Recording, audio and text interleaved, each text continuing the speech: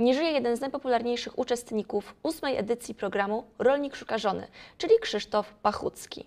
Mężczyzna miał 56 lat, popełnił samobójstwo. Uczestnik reality show TVP od dłuższego czasu zmagał się z depresją, z którą pomagała mu również jego żona Bogusia. Krzysztof zniknął z domu, a chwilę później popełnił samobójstwo. Pożegnali go bliscy oraz produkcja programu Rolnik Szuka Żony. Stresuje się trochę? Czym? Nie wiem, sytuacją, Miejscem. Wiesz. Czy się stresuję?